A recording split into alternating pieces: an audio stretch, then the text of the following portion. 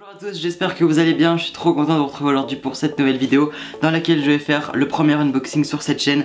J'ai reçu quelques livres, du coup je suis très content de pouvoir aujourd'hui vous les montrer et partager ce petit unboxing avec vous.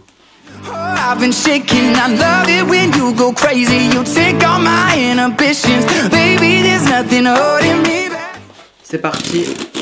Oh lolo du coup, ce sont quatre bandes dessinées que je vous présente aujourd'hui qui m'ont été très gentiment offertes par les éditions Jungle. Merci beaucoup à elles. Et du coup, on va regarder un petit peu tout ça. Et la première, c'est Mystery Society qui vient donc des éditions Jungle. Cette bande dessinée a été créée par Steve Niles et par Ashley Wood et les dessins sont de Fiona Staples. Je découvre en même temps que vous la bande dessinée que c'est, c'est les détectives les plus déjantés que le monde ne connaîtra jamais. Mieux entouré que la Ligue des Gentlemen Extraordinaires, il, il dirige la Mystery Society. Les dessins sont vraiment sympathiques et je trouve que la dessinatrice a beaucoup de Cette vidéo c'est un unboxing, je n'ai absolument aucun avis sur les livres sachant que je ne les ai pas encore lus et du coup je vous ferai sûrement un bilan euh, une fois que j'aurai lu euh, ces, ces, bandes dessinées. La deuxième bande dessinée c'est Plants vs Zombies toujours dans les éditions Jungle qui est donc l'œuvre de Paul Taubin et de Jacob Chabot.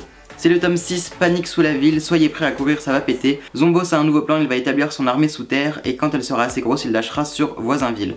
Pour jouer avec les habitants, non pour les manger, pour manger leur cerveau. Donc voilà, c'est quelque chose de, je pense qu'on l'aura compris dans le titre euh, qui va parler zombies. Je n'ai absolument pas lu le 1, 2, 3, 4, 5, donc euh, j'espère que le 6 euh, peut se lire sans avoir lu les autres. Et pareil, je vous donnerai aussi mon avis une fois que je les aurai lus. Je l'aurai lu, il y en a qu'un.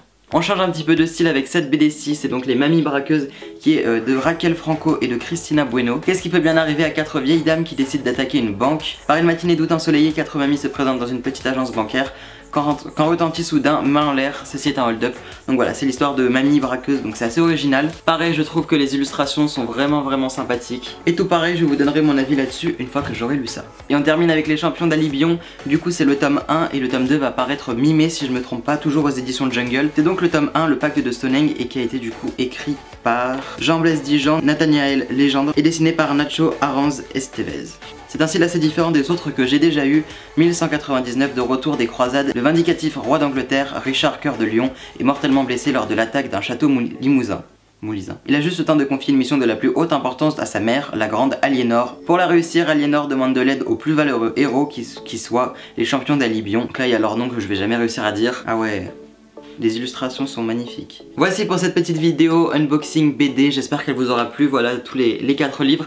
Euh, j'ai hâte de lire tout ça et je vous ferai de toute manière un point, un bilan, un, retour sur, euh, sur ces lectures, euh, je ne sais pas trop quand, quand je les aurai tous lus. Merci beaucoup d'avoir regardé cette vidéo et d'être plus en plus à me suivre sur cette chaîne, ça me fait juste super plaisir. Et on se retrouve très bientôt sur la chaîne pour parler films, livres ou séries.